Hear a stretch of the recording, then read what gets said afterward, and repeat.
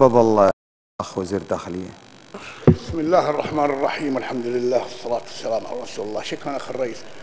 ال- أشكر زميلي العضو المحترم أبو مهدي على إثارة الموضوع اللي أظن إحنا ناقش بند الرسائل لكن بما أن تكلمنا عن هذه ال- الأمور نعم زملائي الأعزاء وشخص متواضع قاعدين نشتغل على آلية عمل. إن شاء الله راح ترى النور بالقريب العاجل. لكن لما نتكلم عن الأحداث وكذا بجي من الآخر. الأحداث ترى فيه كويتيين بالتأسيس موجودين بالأحداث. فما ما نميز إحنا في في عملية الج- ولا أبي أخوض في عملية ما حدث في تيمة في ال- في الآونة الأخيرة. إحنا قاعدين نشتغل على آلية عمل. ليليا يطلعوا لنا من 35 إلى 40 شباب يقذفون مخافركم. يكسرون دورياتكم وشفتوا. أردى إصابة برجال الأمن سبع غرز براسه. لا والأبلة. إن لما يضربه بصخرة ويطيح مقشي بيجيب سكين بضربة بعد.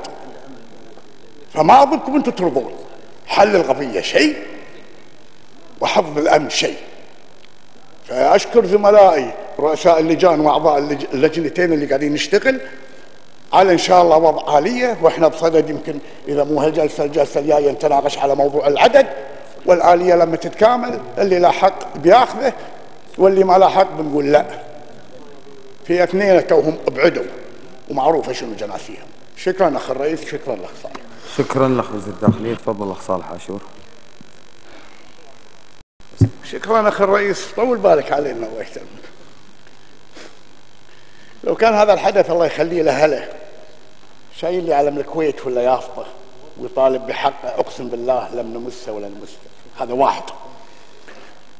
اثنين الحدث اللي سويتوا منه ولا بعض وسائل الإعلام وتلوه من مدرسته هذا مو صحيح.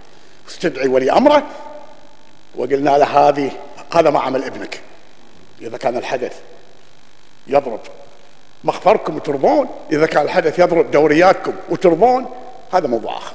شكرا اخ الرئيس شكرا للأخ الفاضل داخليه تفضل الاخ صالح